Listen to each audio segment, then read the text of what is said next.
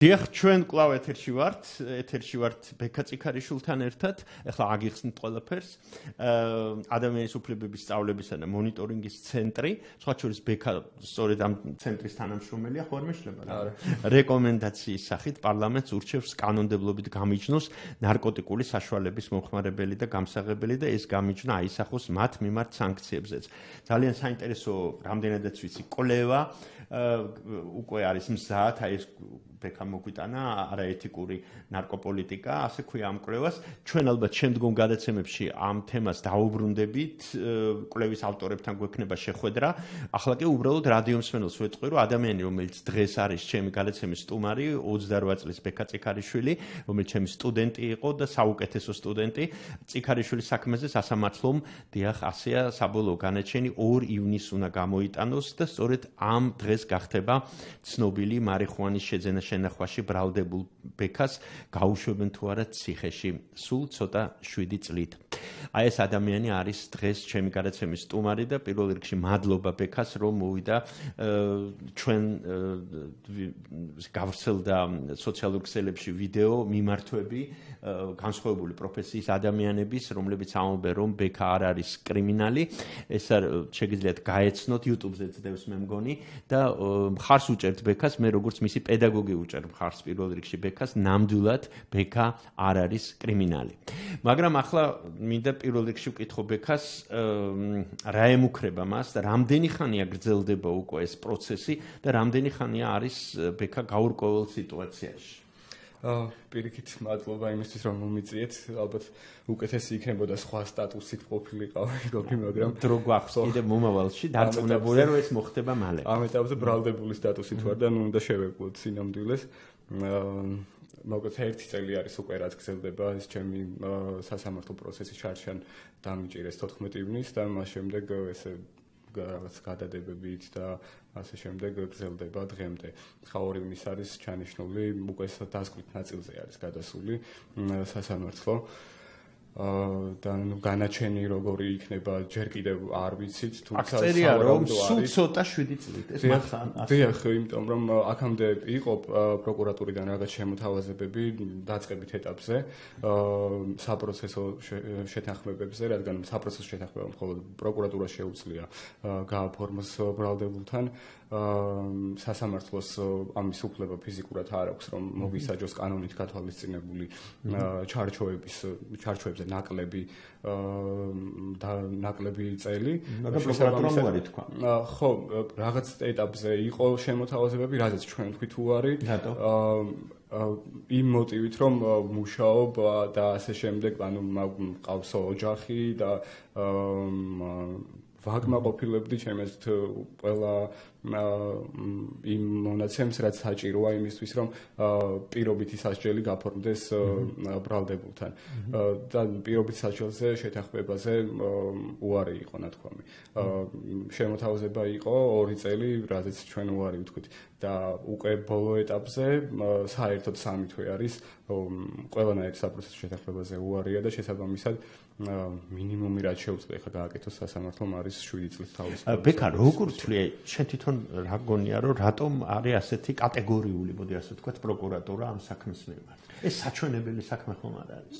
აა ვერ ვიტყვი, არ ვიცი, ცოტა რთული არის და გამიჭirdება. რამდენადაც მე ვიცი ამ ბოლო პერიოდში, ამ ბოლო სამ თვეში ზოგადად გამკაცრდა მიდგომები, სწორედ ესეთი იყო არგუმენტი პროკურატურის, რომელსაც უარი გითხეს საპროცესოზე, რომ გამკაცრდა მიდგომა. ეს განსაკუთრებით დაიწყო მას შემდეგ, რაც არაბიო ნარკოტიკს კამპანია წავიდა შინაგან საქმეთა სამინისტროს მხრიდან. ალბათ უფრო ეს არ ვიცი, თუმცა ჩვენ წინა წლების გამოცდილება გვაქვს, თუ რა მოიტანა ნულოვანი ტოლერანტობის პოზიცია და ანუ ფაქტურად არის ნულოვანი ტოლერანტობის გაგრძელება შეიძლება ასე ითქვას, ხო? კი, აბსოლუტურად. ნუ რამდენად იმოქმედებს შენი აზრით პროკურატურაზე აი ეს ვიდეო მიმართვები, მხარდაჭერა ის რომ ხარ შენ ჩვენი გადაცემის სტუმარი, არის შანსი რომ რაიმე შეიცვალოს ამით? ვიცი გოგი როგორ არის აქამდე ძალიან ბევრი შუამდგომლობები იყო არაჩვეულებრივი ადამიანების მათ შორის შენი წერილის პროკურატურაში უნდა ვთქვა.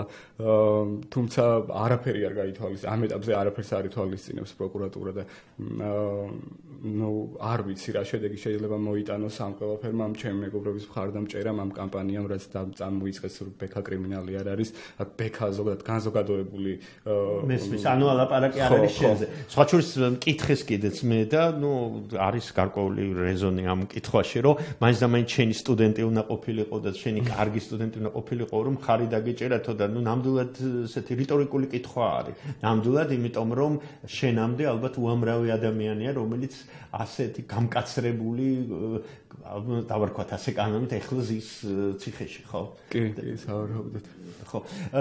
ეს ყველაფერი უკავშირდება გარკვეული თვალსაზრისით ანტინარკოტიკულ დიდ კამპანიას და ამავე დროს საზოგადოებაში უკვე სერიოზულად არის საუბარი იმაზე რომ ეგრეთ წოდებულ მსუბუქ ნარკოტიკების მოხმარებაზე სასჯელი საერთოდ გაუქმდეს. შეიძლება ასე ითქვას.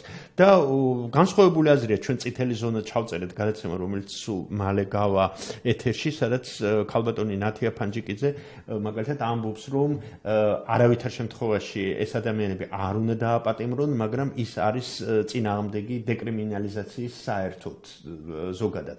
ანუ მაინც თulis რომ განკული სასჯელი უნდა არსებობდეს რადგან წინააღმდეგ შემთხვევაში საქართველოს არის მაინც რომ სუბუქი ნარკოტიკი როგორც ასეთი არ არსებობს და საქართველოსში შეიძლება ყველაფერმა უკიდურესი ხასიათი მიიღოს. აი ამ კლევის შესახებ ხომ არ გვეტყვი რამდენიმე სიტყვას და რაღაც სიმბოლურია რომ შენ მონაწილეობდი ხო და შენი ორგანიზაცია მონაწილეობდა ამ კლევაში. კი, ჩემი ორგანიზაციის კლევა მე უშუალოდ ჩართული არ ყოფილი ვარ ამ კლევის შედგენაში. თუმცა აქ არის ბევრი რეკომენდაციები საერთაშორისო ორგანიზაციებიდან, რომლებიც ძირითადად ნარკომანხმარებლების ასე ვთქვათ, რეაბილიტაციისკენ და მათი რესოციალიზაციისკენ არის მიმართული და არათუ დასჯისკენ, რასაც ჩვენ ახლა ვატარებთ ამ პოლიტიკას. ხო, შეთვლი შენ თავს ნარკომონხმარებლად. ძალიან მიჭირს, არ ვიცი. არა, ალბათ დამისვეს ეს კითხვა. ხო, ვიცით როგორ არის ფაქტია, რომ აა რაღაცნაირად ეს საბჭოთა მემკვიდრეობა მაშინდელმა აზროვნებამ ისეთი ინერციით დღემდე ჯერ კიდევ ჯერ კიდევ ადამიანები ნარკომომხმარებლებს მათ შორის მარიხუანას მომხმარებლებს რომელიც ჩემი აზრით ნამდვილად სუბუქი ნარკოტიკი არის და არ შეიძლება გადიოდეს მძიმე ნარკოტიკების კატეგორიაში. და რომ ძალიან ბევრ ქვეყანაში დაშვებული დაშვებული არის ლეგალიზებული ლეგალიზებული ხო? და ნუ მაინც საზოგადოების არ ვფიქრობ რომ დიდი ნაწილი ნაწილი, თუმცა რაღაც ნაწილი ამას უყურებს როგორც ნარკომანს, ნარკოტიკის მომხმარებელს და მე მგონი სწორედ ამ ამ ნაწილზე აპელირებს პროკურატურა. პროკურატურაც და სისტემა. კეთილი. კიდევ მინდა კითხო ისევ ამ კლევის შესახებ, რამდენიმე სიტყვა იქნებ გითხრა, შენ გაეცანი წაიკითხე მთლიანად თავიდან ბოლომდე. არ სამწუხაროდ ეხლა ამ წუთას შედგა 1 საათის წინ ეს კლევა და აი ეს უნდა წარუდგინოთ ხელისუფლებას ალბათ, ხო? თუ რეკომენდაციები სამინისტროს. კი, რეკომენდაციების ნაწილი არის ბოლოში, რაც გაეგზავნებათ, გადაეგზავნებათ. ვიცი თუ არა შინაგან საქმეთა სამინისტროს პოზიცია, პარლამენტის პოზიცია, თუ არის იქ ჯგუფები, რომლებიც ასე ვთქვათ, უფრო ლიბერალურად არიან განწყობილნი ამ ძალიან მკაცრი კანონის მიმართ. აა შინაგან საქმეთა სამინისტროს პოზიცია ცალსახად არის ის რომ უნდა გატარდეს მძიმე ნარკო ანუ ესეთი როგორც თქვა, ანუ არ არიან თან ახლა დეკრიმინო კაცრი ნარკოპოლიტიკა. თუ რამდენიმე დღის წინ ლევანი ზორიაც იყო გამოსული, რომელმაც ეს დაადასტურა კიდეც. რაც შეეხება სხვა სტრუქტურებს, იყო საუბარი, რომ იუსტიციის სამინისტრო თანახმა, რომ შერბილდეს კანონმდებლობა. თუმცა ეხლა ნახევარი წუთი იქნება რეკლამა ჩვენს ეთერში და კიდე 5 წუთი გვაქვს ვისაუბრებთ ამ თემაზე, თუ შეიძლება.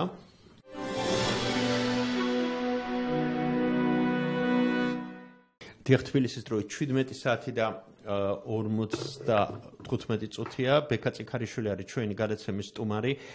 კიდევ ერთხელ გავახსენებ რადიო მსმენელს რომ ბექას ელის სასამართლო 2 ივნის სწორედ ამ დროს გახდება ცნობილი მარიხუანის შეძენა შენახვაში ბრალდებულ ბექას გაუშვებენ ციხეში. თუ არა, ციხე ემუქრება მას სულ ცოტა როგორც გითხეს 7 წლით. და იქნებ უბრალოდ რადიომსმენელს გაახსენო აი ამ კვლევაში ლაპარაკი იმაზე რომ იძულებითი ნარკოლოგიური შემოწმება და ჯარიმები რომელიც საქართველოსში ნუ ჩაოლებრივი ამბავია. ის ცუდი დღე შენ ცხოვრებაში 14 ივნისი თქვი მე მგონი ხო? გაიხსენო იძულებით მოხდა თუ არა შენი შემოწმება და როგორ მოხდა საერთოდ? თუ არქსი ამოვნებს კი ბატონო არა ვისაუბრებ იმიტომ რომ ეს ის დღე არის რომელმაც ესეთი რაღაც ეს ბოლო ერთი წელია ფაქტიურად ამ ამ დღეში ვიყოფები ეს ონტოლოგიური დრო ჩემთვის შეერჩი შეჩერებული არის და უნებრივია ხოლმე და მხოლოდ 14 ივნისზე ვარ ორიენტირებული ვცდილობ როგორღაც მოვახდინო ამის ლოგიკური და რაციონალური ანალიზი თუ რა რატო როგორ როგორ შეიძლება. რომ მიწევს მტკიცება სახელმწიფოსთვის რომ არ ვარ კრიმინალი. მიწევს მტკიცება სტრუქტურებისთვის რომელსაც სახე არ აქვს და რომლებიც და საზოგადოებისთვისაც ალბათ საზოგადოების ნაწილისთვის რომელსაც საზოგადოებისთვის ნაწილისთვისაც მაგრამ ნუ მე ფაქტიურად არ მახსოვს ისეთი შემთხვევა ვისაც კომუნიკაცია მქონდა ადამიანებს რომ ეთქვათ რომ ამის გამო შენ უნდა დაისაჯო შუბიდიდან კათხალში ხარ ესე. და ასე გაგაჩერეს ქუჩაში. სამი წუთი გვაქვს კიდევ გაგაჩერეს ქუჩაში. გამაჩერეს ოპერატიული ინფორმაციის საფუძველზე, როგორც შემდეგ აღინიშნა, შემამოწმეს ჩხეკით და თან მქონდა რაღაც ნაწილი ნარკოტიკულ მარიხუანას, დანარჩენი ამოიღეს ჩემი სახლიდან.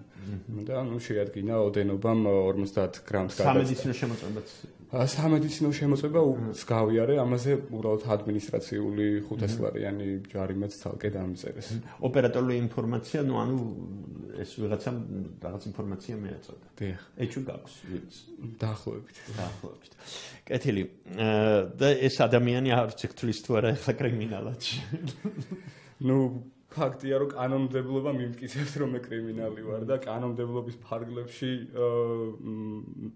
ფარგლებში მე კრიმინალი ვარ, თუმცა აა სხვა არის საზოგადოებრივი აზრი და არ ვიცი თუ კანონმდებლობა შეიცვალა გამოვა რომ ერთი წლის შემდეგ თუ მოხდა დეკრიმინალიზაცია ვთქვათ მე აღარ ვარ კრიმინალი. გასაგებია გასაგებია. აი ეს ძალიან ცევდიანი ამბით მინდა დავასრულო ჩვენი გალაცემა და ძალიან დიდი იმედი მაქვს რომ ბექა გაიმარჯვებს რადგან ბექა არ არის კრიმინალი. კიდევ ერთხელ გაგახსენებთ, რომ ადამიანის უფლებების სწავლებისა და მონიტორინგის ცენტრმა მოამზადა კვლევა, ბექასორეთ ამ ცენტრში მუშაობს და ამ კვლევას ქვია არაეთიკური ნარკოპოლიტიკა. ჩვენ უახლოეს ხანში ამ თემას დაუბრუნდებით, ბექას დავემშვიდობები და წარმატებას ვუსურვებ და გამარჯვებას ვუსურვებ პირველ რიგში. ეს იყო გადაცემა თავისუფლების 1 საათი, რომელიც ყოველ სამუშაო დღეს 17 საათიდან 18 საათამდე გადის რადიო თავისუფლების ეთერში. მე ვარ გოგი გვახა ხარია ოპერატორი ხმის ოპერატორი იყო ლევან გვარამაძე გემშვიდობებით ხვალამდე კარგად ზანდებოდეთ